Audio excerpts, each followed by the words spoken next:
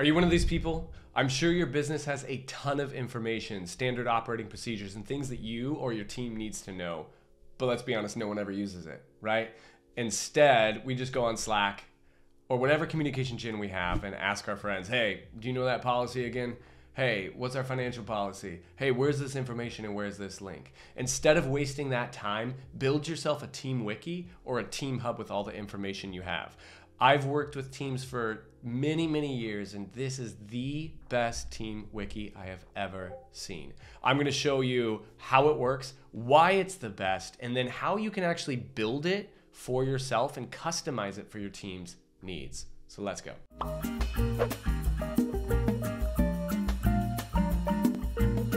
Number one reason why this is the best way to store your team knowledge or your team wiki or your team hub is simplicity.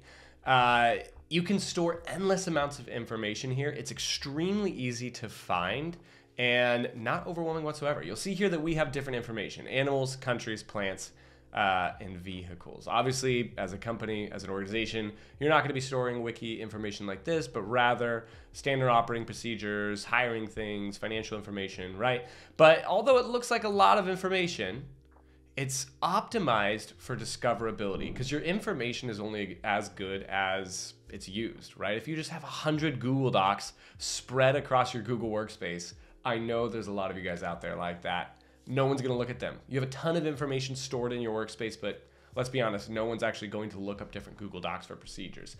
Instead, store it in one place. So let's look here, for example, and see why it's optimized for discoverability. Uh, first off, I might just want to search something. Uh, tree, for example. You'll see that as I search the word tree, it's going to show me everywhere in my wiki that tree comes up. So you'll notice that in animals, it comes up in four subtopics talking about giraffes eating trees, right? Chimpanzees swinging through the trees. We've also got all these different trees and pieces of information here, as well as the diet. So that just shows us contextually where these pieces are actually found. So we could also search the word door. Door, probably not. Oh, no, it is in here door, doorway. Um, elm branch over a doorway, we can go in and then we can actually see the information. So optimized for discoverability, right? Instead of having, you know, a ton of different Google Docs looking to find the right one that actually has the information, this shows you right away where the info is that you need to find. It's also really easy to navigate. So let's just say we want to learn about animals. We can see everything in our wiki about animals, as well as the content about them. We can go to learn about giraffes. We can learn about giraffes generally, as well as you know their diet, interesting facts, relationships with humans, and where you can't find them. Now this is completely organized so that you can structure this however you want, right? You can have 15 of these subtopics here. You can have none or zero. It's got breadcrumbs as well, so whenever you're anywhere, you'll know exactly where you are. Animals, giraffe, you're on interesting facts. Everything has information about when it was last modified, so you know if you're reading up to date data or if it's old.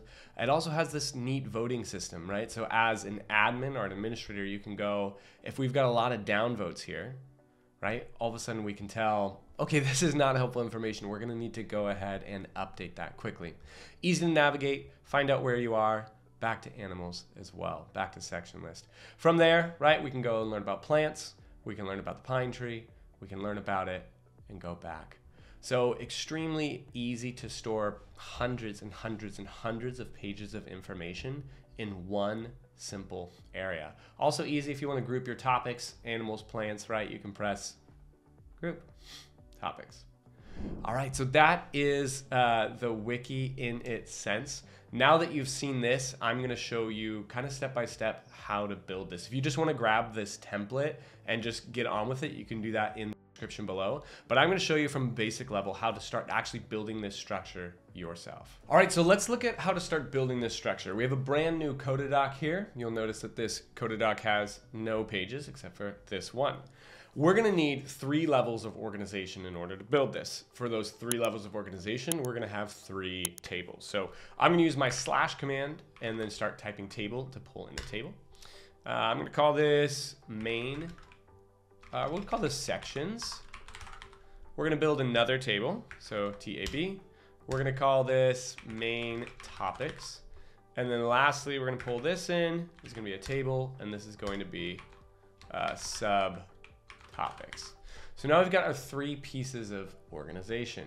Now that these are organized, we need to relate them to each other. You saw in our uh, walkthrough, obviously, that as we could click around, we could kind of move between all these different pieces just really interchangeably and quickly. So let's connect those now. So if this is the section title, um, this over here is called a canvas column. We're always going to use our canvas columns to be actual content. Okay, so you'll notice each one of these has a content. And then this has a topic title. And then lastly, let's make this content. And let's make this a uh, title, subtopic title. How we're going to relate them is we were going to relate our sections to our topics. So what we're going to do is we're going to create a new column. We're going to do a relation type column. That relation type column is going to be related to main topics to sections. You'll see here, once we do that, we've created a relationship to sections, but we need to make it two way so it's connected to both tables.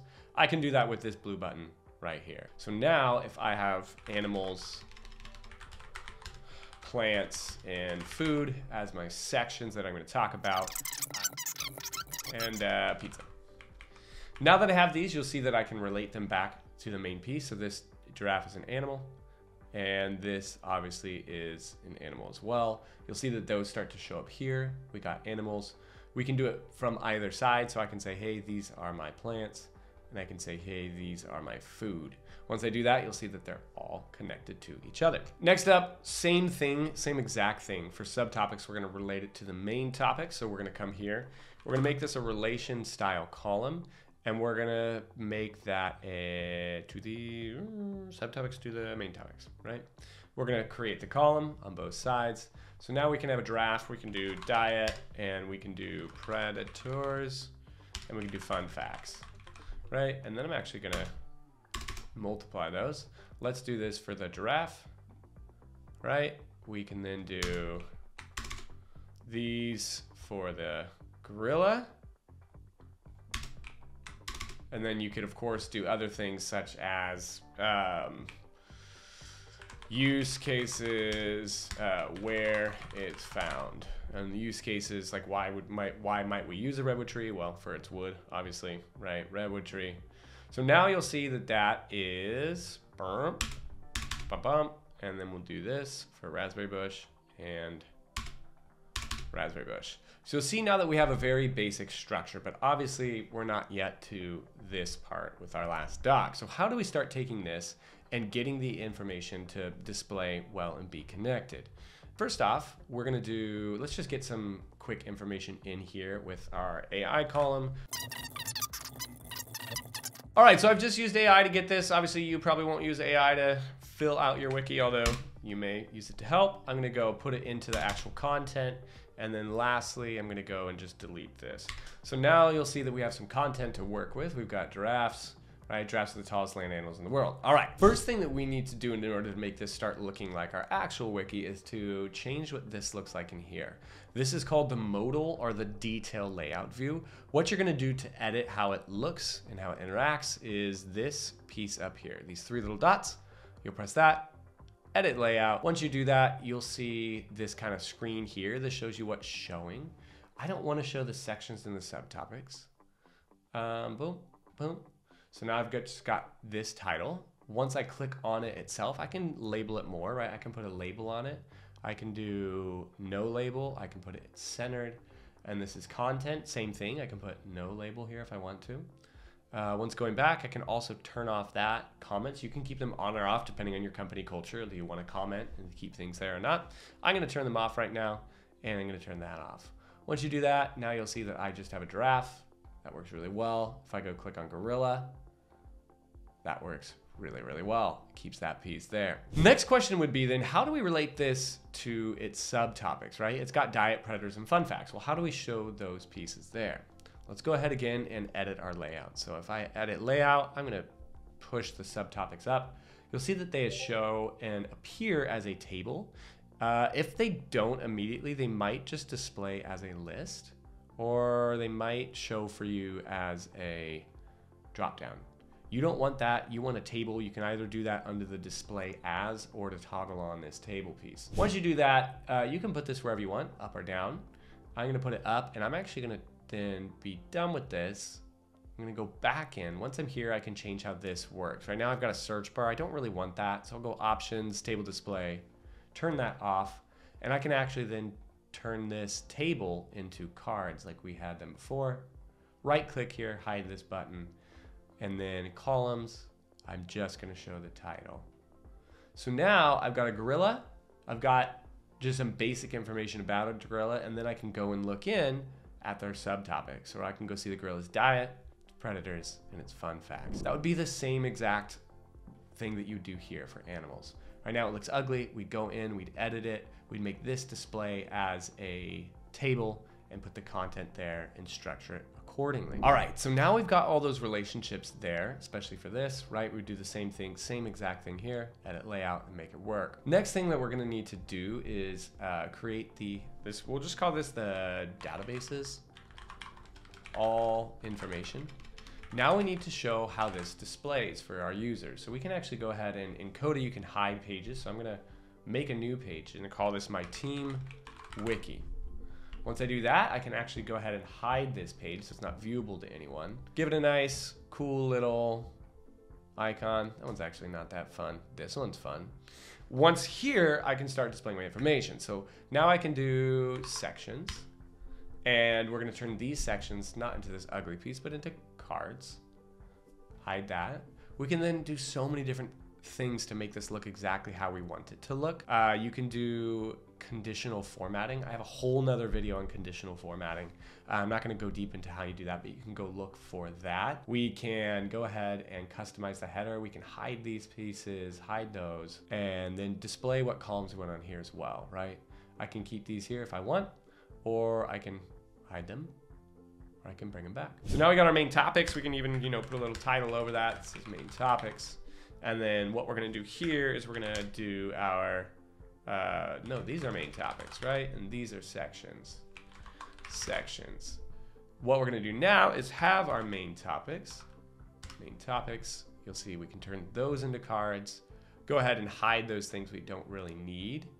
Um, hide these buttons, and of course, customize the header just like we did before. Now we've got this beautiful layout and this can keep growing and growing and growing. I never have to worry about it growing to multiple, multiple pages are kind of information overwhelmed because it's all gonna be here. What you would do next is you would start putting, I would say this is, you're done. This is the basic structure that you need. Uh, but let's think about how we get here, right? How do we get back to this piece. This has a lot of different extra fun stuff, such as images, conditional formatting, this contextual search, I think, which is the most powerful piece, right? Like if we put floor, I don't even know if this is in here. It is floor, flooring, oak. Where do we find that? That's a completely different question. Uh, either you can just get this template in the description below, or I have a whole nother video that actually walks you through step by step every formula and everything that you need to get these pieces of information. That is the wiki, and that is generally how you create it. Hope you guys liked it. Let me know if you got questions and put them in the comments below.